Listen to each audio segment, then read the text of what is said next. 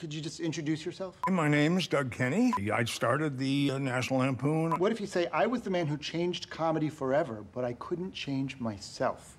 Really? Blow me.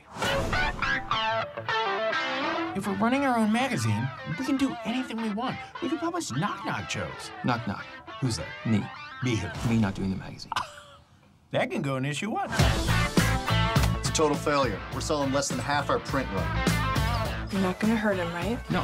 What are you doing? Don't worry, I don't think there's any bullets in there. Patches!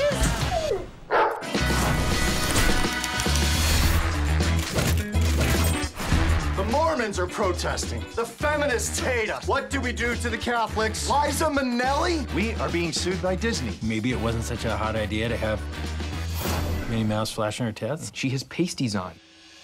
All right, ready, girls? Three, two, one. Catherine, I'm the woman you're hitting on. Doug Kenny, Chagrin Falls, Ohio. Live from New York, it's Saturday night. We're barely able to put out a magazine. Then let's barely be able to do something else. The first National Lampoon movie. Laser, Orgy Girls. Doug Kenny, Chagrin Falls, Ohio. One of the writers of Animal House. Food fight! You call this success? Mostly an excuse to party. You've ruined this company. I can't come back a failure. I do care about you, Doug. Laugh, goddammit! You need to see someone.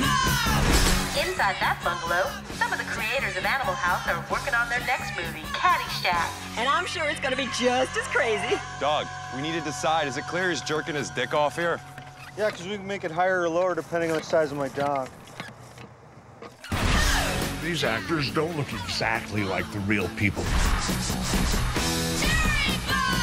But come on, you think I look like Will Forte when I was 27? You think Will Forte is 27? Let's do this.